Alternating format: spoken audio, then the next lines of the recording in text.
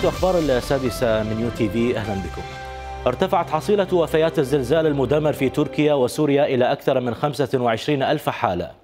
إدارة الكوارث والطوارئ التركية قالت إن عدد المتوفين في الولايات المنكوبة بلغ أكثر من 21 ألفا فيما تجاوز عددهم في سوريا 3500 وتواصل فرق الإنقاذ عمليات البحث لانتشال الضحايا من تحت الأنقاض في اليوم السادس على وقوع زلزال بقوة سبع درجات فاصلة ثمانية دمر أحياء سكنية ومنشئات بشكل واسع في تركيا وسوريا.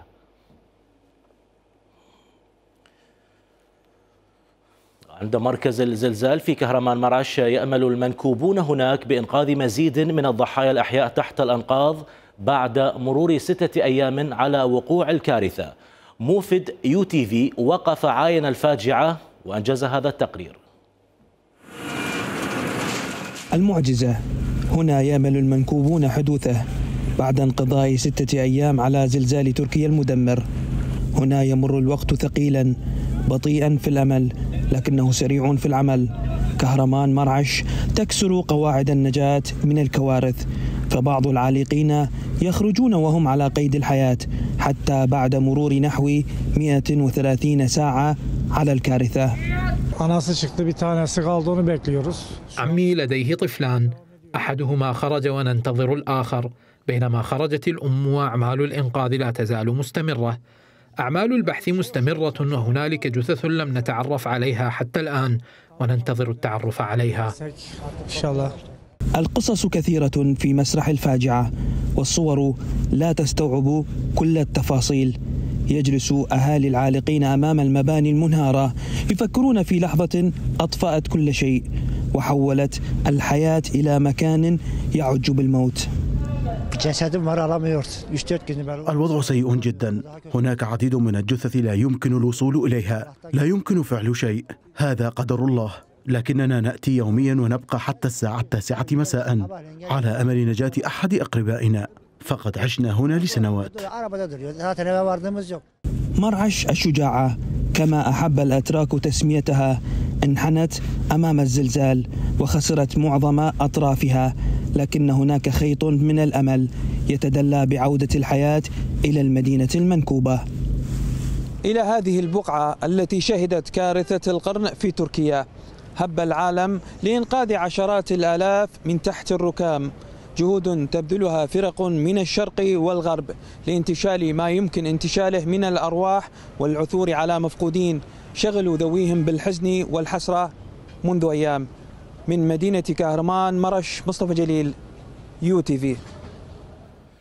أجرى رئيس الوزراء محمد الشاع السوداني اتصالا هاتفيا مع رئيس التركي رجب طيب أردوغان قدم فيه التعازي والمواساة بوقوع ضحايا الزلزال. وعبر السوداني عن تضامن العراق شعبا وحكومة ورئاسات مع الشعب التركي وحكومته إزاء الكارثة الإنسانية مؤكدا استمرار العراق في تسيير الجسر الجوي لنقل المساعدات الطبية والإنسانية ومواد الإغاثة إلى المناطق المنكوبة انطلاقا من روابط الأخوة وحسن الجوار والتأخي بين الشعبين العراقي والتركي. ونقل بيان رسمي عن الرئيس التركي تثمينه للمبادرة العراقية مؤكدا عمق العلاقات الثنائية بين البلدين. أيضا وصف الرئيس التركي رجب طيب أردوغان الزلزال بأنه كارثة القرن بعدما تسبب في دمار على مساحة 500 كيلومتر. ومن مركز الزلزال في كهرمان مرعش تحدث أردوغان عن العمل على نقل فرق الإنقاذ إلى المناطق الأشد تضرراً. Asrın felaketi olarak nitelenen bu deprem هذا الزلزال الموصوف بكارثة القرن تسبب في دمار على مساحة 500 كيلومتر وشعر به سكان منطقة مساحتها نحو ألف كيلومتر. ونعمل على نقل الفرق في المنطقة التي انتهت فيها أعمال الإنقاذ إلى المناطق الأشد تضررا في كهرمان مرعش وهاتاي أديمان sarsıntıların hissedildiği أيضا انتشل فريق البحث والإنقاذ العراقي 14 جث- جثة من ضحايا الزلزال المدمر في تركيا. مديرية الدفاع المدني العامة ذكرت في بيان أن الفريق استخرج الجثث من تحت ثلاث بنايات منهارة في إحدى الولايات المتضررة من الزلزال باستخدام معدات الإنقاذ الثقيلة مشيرا إلى أن الفريق يواصل لليوم الثالث عمليات البحث والتفتيش الدقيق عن الضحايا.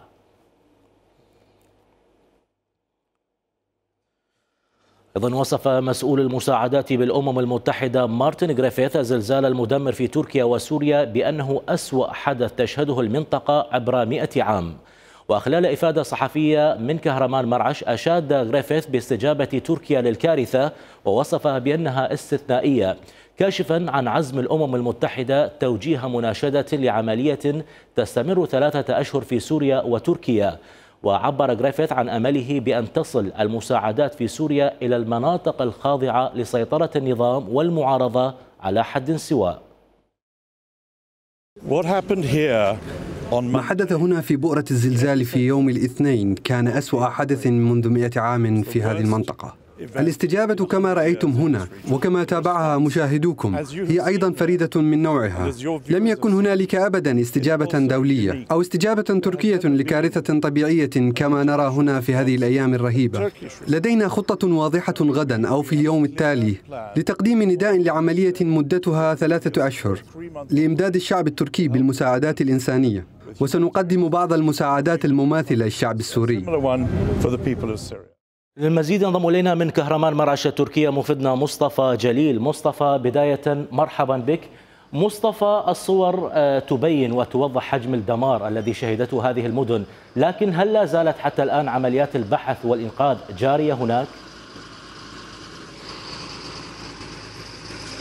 نعم علي عمليات البحث مستمرة لكن يبدو أن فرق الإنقاذ بدأت تعلق العمل بين موقع واخر وذلك بعد انتهاء عمليات انتشال الجثث وإنقاذ العالقين تحت الأنقاض مثلا الموقع الذي خلفي انتهى العمل فيه وستبدأ منذ يوم من يوم غد عمليات التنظيف واخلاء من الركام. وبعد ذلك سيتم تقييم الضرر وتعويض المتضررين. وكذلك الحال بالنسبة للكثير من المواقع هنا في كهرمان مرش. الوتيرة تتسارع وتيرة العمل في كهرمان مرش ل تهيئة الأجواء ولإعادة الحياة إلى طبيعتها. حتى الآن لا يوجد أي سقف زمني لعودة الحياة إلى هذه المدينة نظرا للضرر الذي تسبب به الزلزال. وكذلك هناك الكثير من العقبات يعني منها مصطفى إذا الماء والغاز انتهاء العمل في هذه المواقع. التي تأثرت بها نعم مصطفى هل هناك مدن أو ولايات أتمت بشكل نهائي عمليات البحث؟ هل هناك أيضا مدن أخرى لم يتم التوصل؟ يعني فرق الإنقاذ لم تتوصل إليها؟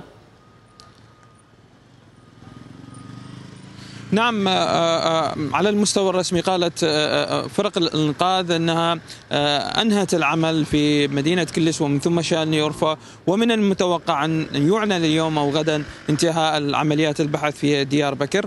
طبعا هذا حتى الآن لكن هناك حديث يدور حول مناطق لم تتمكن فرق الإنقاذ من التوصل إليها نظرا للصعوبه الجغرافية وكذلك الطقس البارد. الطقس كما ذكرت في مرات سابقة يؤثر على عمليات الإنقاذ.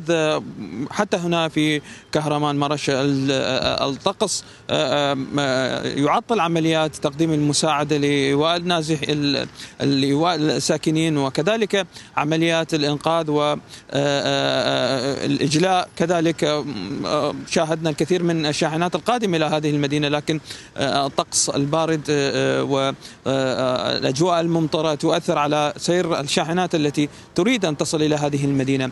لكن ومع أن الحكومة وفرق الإنقاذ لم تضع أي سقف زمني لإعادة الحياة إلى كهرمان مرش، لكن على ما يبدو من خلال حديثنا مع الكثير من الطواقم يقولون هم تلقوا أوامر بأن يسرعوا من عملية تهيئة الأجواء في كهرمان مرش للبدء بإعادة إعمار المدينة وتعويض المتضررين ويتوقعون أن ان تستمر العمليات بمناسبة الحديث عن المتضررين والإجلاء. لأكثر من شهر. نعم مصطفى بمناسبة الحديث عن المتضررين وإجلاء السكان الموجودين كيف هي بشكل عام أوضاع النازحين أو الذين تم إجلاءهم من هذه المناطق؟ طبعا بشكل عام تركيا خصصت الكثير من الحافلات والطائرات لإجلاء الساكنين حتى ممن لم تتضرر منازلهم بجراء الزلزال ونقلتهم إلى مناطق قريبة من كهرمان مرش. وأما في الداخل داخل كهرمان مرش هناك مراكز إيواء مجهزة بكل الخدمات وحتى هناك جالية عربية من الجنسيات السورية. موجودة في هذه المراكز. لكن علي دعني أشير إلى نقطة مهمة هو جهود الفريق العراقي. قبل قليل تواصلت مع الفريق الفريق الإغاثة العراقي الذي يقوم بعمليات إجلاء وكذلك عمليات إنقاذ في تركيا. وقال لي المنسق الفريق العراقي أنهم الآن يتواجدون في مدينة أضنة وقاموا بإجلاء الكثير من العوائل العراقية الموجودة في أضنة وسيرسلهم إلى غازي عنتاب. هناك توجد المراكز المناسبة وحتى في أضنة وفروا بعض المراكز للجالية العراقية. وسنحاول أن نصل للفريق العراقي لتغطية وتوثيق ما يقوم به الفريق فريق الإنقاذ العراقي هنا في تركيا. نعم من إحدى المدن المدمرة في تركيا كهرمان مرعش مصطفى جليل. موفدنا إلى هناك. شكرا. جزيلا لك مصطفى.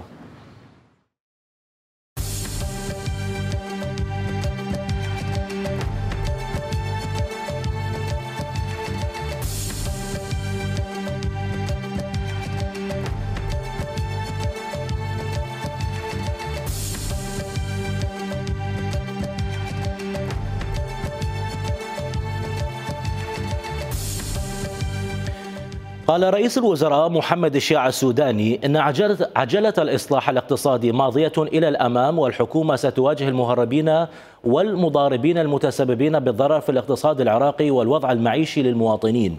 وخلال ترأسه الاجتماع الثالث لاتحاد الغرف التجارية ورابطة المصارف ناقش مستجدات الوضع الاقتصادي ومتابعة أسعار صرف الدولار وشدد السوداني على أهمية تواصل عقد هذه الاجتماعات من أجل تذليل العقبات أمام القطاع الخاص بوصفه شريكا أساسيا في تنفيذ برامجها ومشاريعها الاستراتيجية. عودت أسعار صرف الدولار ارتفاعها أمام الدينار في الصيرفات حيث تجاوزت حاجز 150 ألف دينار للورقة الواحدة.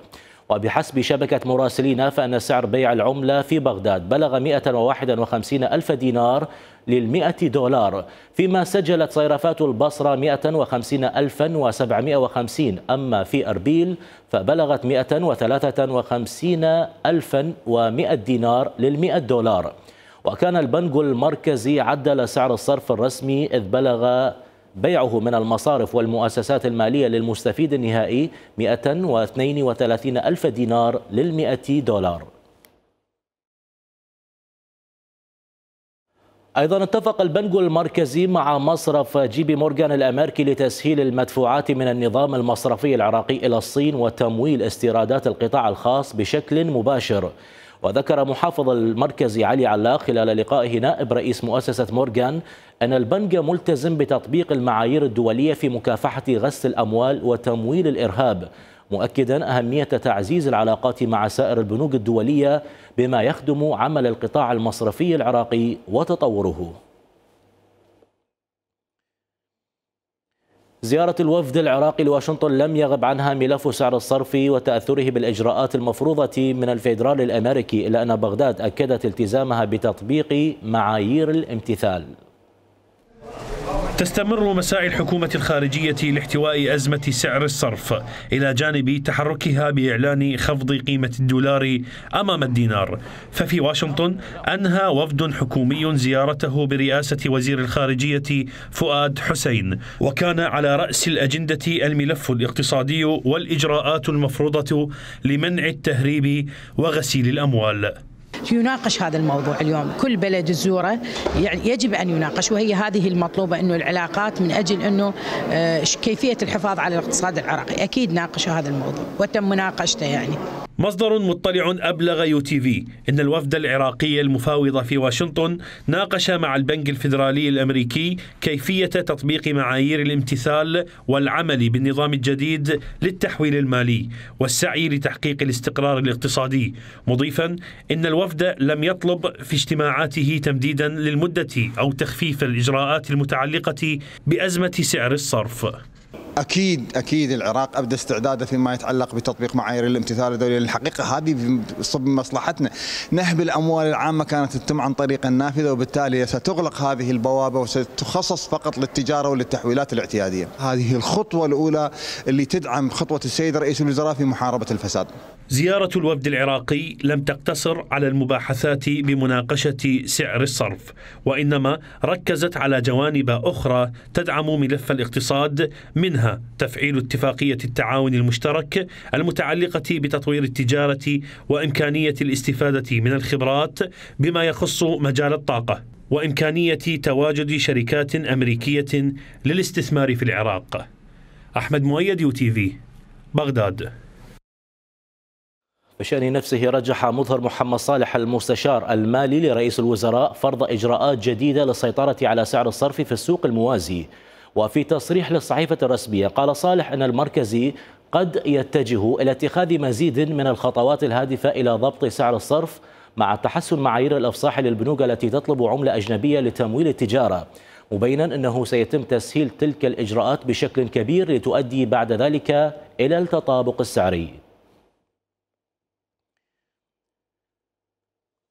قال عضو اللجنة المالية النيابية جمال جوك أكوجر عفوا إن تغيير سعر الصرف قد يزيد من عجز الموازنة مع بقاء سعر برميل النفط بحدود 70 دولارا وفي تصريح للصحيفة الرسمية ذكر كوجر أن العجز في الموازنة يزيد على 60 تريليون دينار قبل تغيير سعر الصرف ويتوقع أن يضاف إلى هذا العجز ما لا يقل عن 10 تريليونات مؤكدا أن الحكومة أمام خيارين لا ثالث لهما إما ضغط النفقات والذهاب نحو حذف بعض الفقرات في الموازنة التنفيذية أو الموازنة التشغيلية والاستثمارية أو القبول بارتفاع العجز من 60 إلى نحو 75 تريليون دينار.